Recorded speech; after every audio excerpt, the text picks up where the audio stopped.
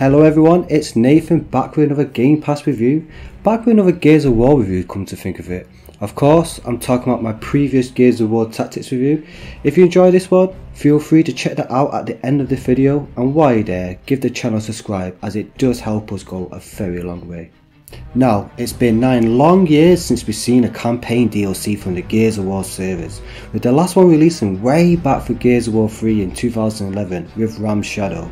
With Coalition taking over the franchise with two mainline titles under their belt now, it's about time for that ambitious solo focused Gears expansion. But is 3 to 4 hours Hivebusters worth a download or does it fail to hit the active reload? Was there a point to your story? Surprises. They fill me with dread and anxiety. So right off the bat, players who have played the new escape mode in Gears 5 will have no doubt seen the main protagonists Mac, Keegan and Lahni, also known as Team Scorpio. A mode when the squad is sent to a locust hive to set and detonate a bomb from the core and try and escape with their lives. And that's as far as we know from Team Scorpio.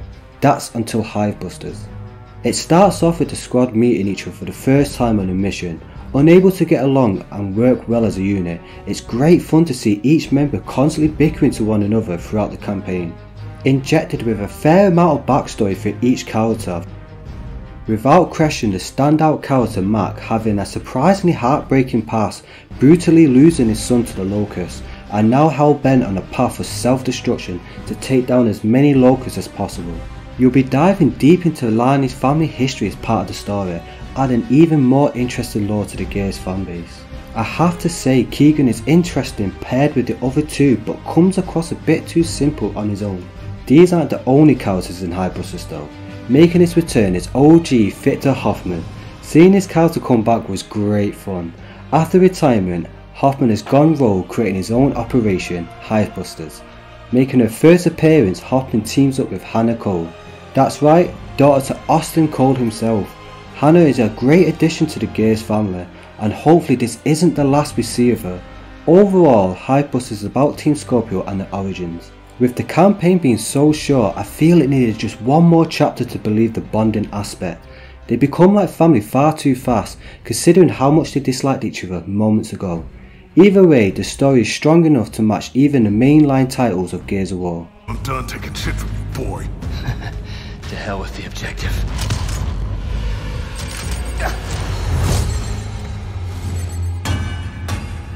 The hell you doing? Making it count, brother.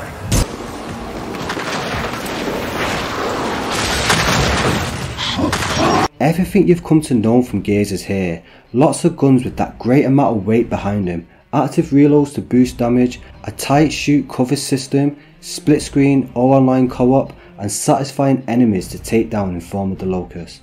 It's all here, but what is new is each character's abilities. Each character has a unique ability that gives you buffs to play more to your style. Keegan is based around restocking ammo for your guns, planting a small radius that will keep granting you ammo the longer you or your teammates stay in. Mac lets you pull up a shield in front of you, blocking incoming bullets but still allowing you to shoot out at enemies.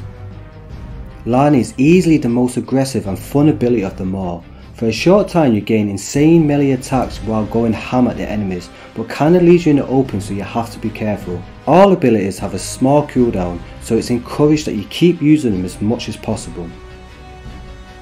A more focused optional stealth mechanic has been added to some of these chapters. Sneaking from cover to cover to perform a stealth attack, trying to eliminate as many enemies as possible before a full blown gunfight scene. It's interesting to add in new stuff like this, but the Locust AI while hiding is far too stupid and too easy to manipulate at times. Outside the stealth there's a lot of different AIs to fight, but I would have liked to see more. Apart from the last boss fight, there aren't any new Locusts we haven't seen from past games. It would have been awesome to see a new Locust created deep within one of these hives. The levels in Hivebusters is some of the best design and visual stunning looking out of any Gears game I've ever seen. When you're not digging deep within a hive, you're fighting through open jungles, old ruins and destructive crash sites set on the beach. It can also be enhanced by smart delivery for the Xbox Series for players who can run up to 4K display. Gears has always been a reliable title to showcase some of the best graphics for its time and Hivebusters is no different. The gameplay during some of these levels are fantastic. My favourite one is defending yourself on a broken platform while riding down a river of lava. I feel like these unbelievable crazy scenarios like this have been missed from Gears for a while and I really hope that this is more to come for upcoming titles. Hivebusters is around 3 hours long depending how much you want to play. If you like me and want to go back to collect everything, this will take up more of your time with there being two types of collectibles with the first one being different types of items explaining more story behind the scenes. The second one being a lot more important acting as power-ups for each character's abilities. I would say this is a must for veterans playing on the hardest setting. With this DLC being a decent length, I would definitely recommend this over Gears 5 to players who haven't played Gears for a while. It's easy to jump in and have fun without needing to know any stories from past Gears of War games.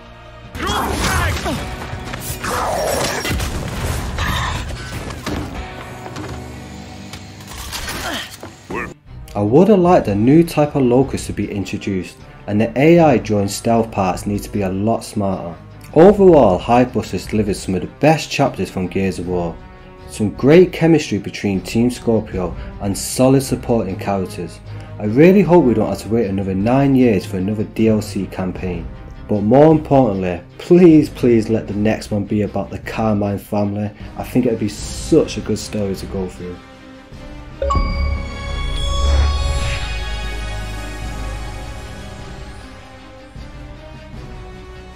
Definitely worthy of a download now. I would honestly recommend Hivebusters even if you have no interest in playing the latest Gears 5 campaign. It won't take too much of your time but packed with high third person shooting action you've come to expect from the Gears of War. And there we have it guys, that's my Game Pass review of Hivebusters. Let us know what you think in the comments below. And if you did enjoy this video, why not check out my other Game Pass review on Gears Tactics. Thank you so much for watching and as always, GG's.